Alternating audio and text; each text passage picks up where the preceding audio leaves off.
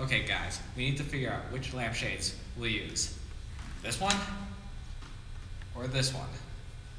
I don't know. I kind of like this one. I think it would add to my urban decay theme. I told you, I ain't doing no urban decay.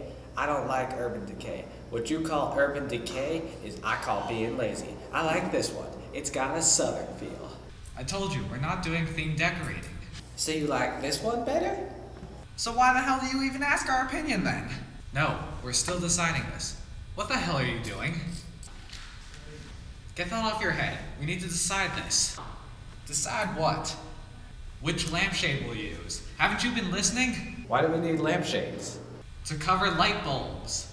Light bulbs? Are we deciding on those now? I want fluorescent ones. No, wait. Ugh. I think we need to take care of the environment with fluorescent light bulbs. Otherwise, who'll take care of the otters? Otters and swans. And swans. No, wait.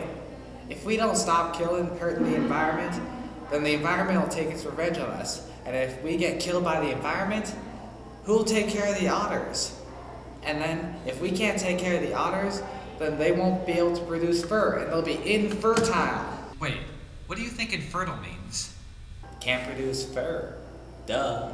It means you live in fruit tiles. In fruit tiles. It's from Spanish. Mexico. No, shut up, all of you. You've all lost speaking privileges.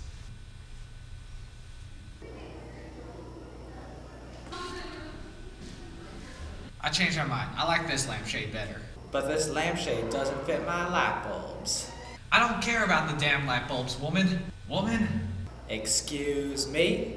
Okay, hold on. Can we at least decide that we want to use fluorescent light bulbs? Yeah. Fine. So we're all in agreement then? Nope. Ugh. So what exactly are you objecting to?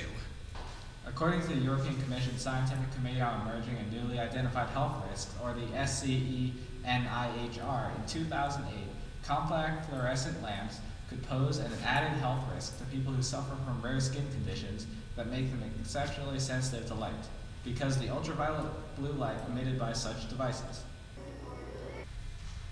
What the hell? You don't have no skin condition.